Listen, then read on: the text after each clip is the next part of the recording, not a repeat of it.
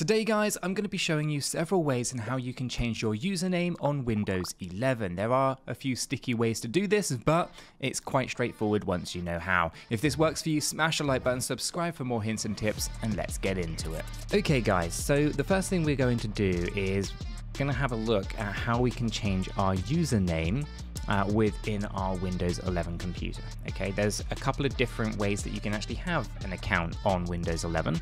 You can have what is called a local user, which is basically only uh, isolated, or I should say, is isolated to the computer itself, which means it's not an online account. Right now, Windows, when you set Windows 11 up, they don't like you doing this anymore. It's kind of like a hidden, buried setting where you, if you're connected to the internet while setting up Windows 11, it's not going to let you create a local user very easily, right? Um, so most people nowadays actually create Windows 11 accounts that are linked to an email address or a Microsoft account, right? Which is what I've got right here. But that being said, I'm going to show you how you can change the username of a local user, which is one that is not linked to a Microsoft account, and how you can change your username on a Microsoft account linked account like this one here. That's a lot of words of accounts. Um, you can roast me in the comments for that one.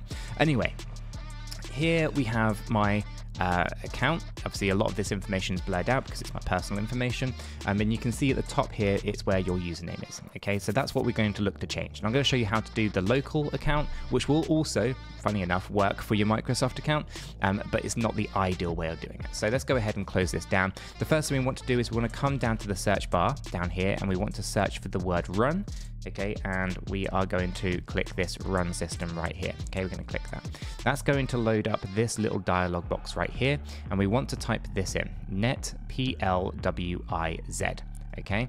So we type this in and we're going to click on ok that's going to bring this dialog box up right here. It's going to list all your users and you're going to be able to adjust the name, the username of your user account. So we're going to click on this one right here, which is my uh, Microsoft linked account. And I'm going to click on properties. That's going to then allow me to basically adjust the username and the full name of my account here. Okay, so uh, we could adjust this to be the same as our kind of full name if we wanted to. We can give ourselves a really fun nickname if we want, whatever your username name wants to be. Like user is really a security issue, I guess, to a degree as well. So you're going to want to try to make sure that you kind of get rid of some of these kind of standard pieces of information where possible.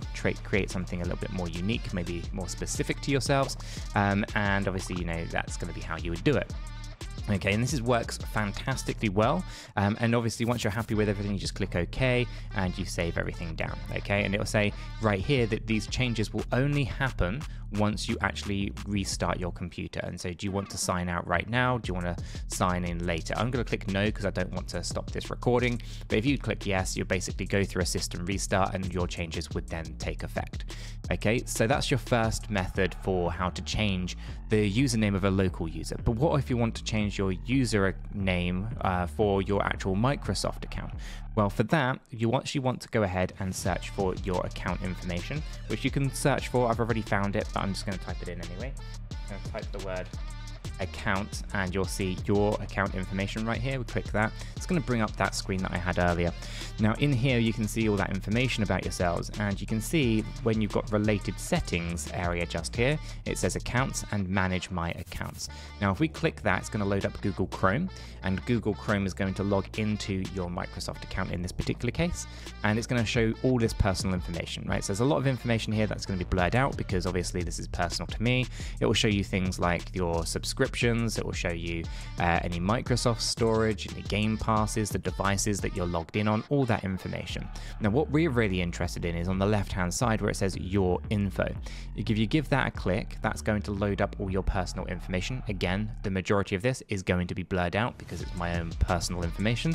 Um, and hopefully the editor has edited all of that out. Future self, make sure you edit this section. Anyway, right. Um, so in here, you have the ability to change your full name. Okay, that is what is appearing inside of our settings. Okay, so that's this area just over here. You can see it has my name in the top left hand corner. So we can go ahead and click on edit name and you can go ahead and adjust all of this and save that in, and that's going to take that change and affect every single login that you have. So unlike the local user where it's only going to change your name on that one singular computer, if you have a Microsoft account that is linked and you change your Microsoft account name, well that's going to reflect absolutely everywhere. Okay, it won't change your username, it will change your first and last name.